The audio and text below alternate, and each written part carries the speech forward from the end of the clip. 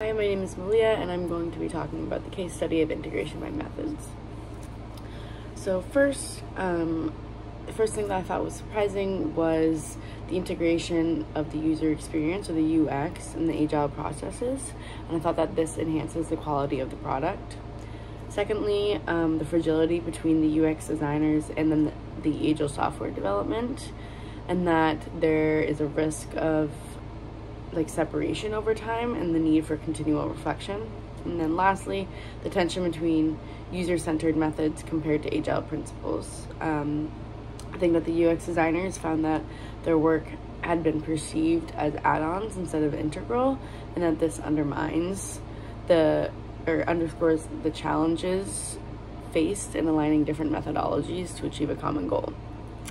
Um, right now, I work as a server and there's we definitely use agile methodologies. Um, for example every single morning we have a a small meeting where we talk about things that we can do better things that went wrong the previous days and um, just things that we need to keep in mind throughout the week or throughout the weekend or day. Um, i also think as servers you are continuously trying to think about something or another way to do something and how to meet the customer or guest's needs.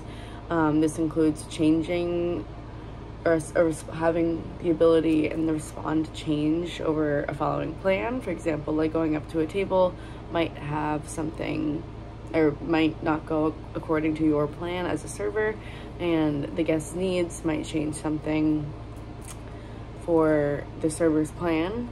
Um, I think,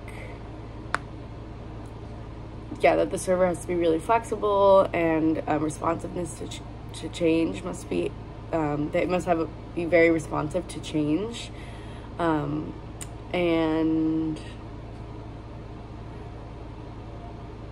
yeah, thank you.